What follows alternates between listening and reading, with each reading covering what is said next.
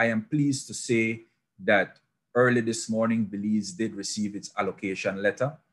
Um, and so that, that, that, that um, helps us to get one step closer to the reception of the, of the vaccines. Um, and so I think we're now um, seeing the, the proverbial light at the end of the tunnel, so to speak. We, we know we know we now have um, some clearer indications um, as to the amount we're going to be getting, and I can tell you we're going to be getting 100,800 vaccines through the COVAX facility, and this is going to be um, the first shipment that we're going to be receiving. We are going to be receiving a subsequent ship, um, shipment um, either in the third or fourth quarter of this year. We are not limited to just the COVAX facility.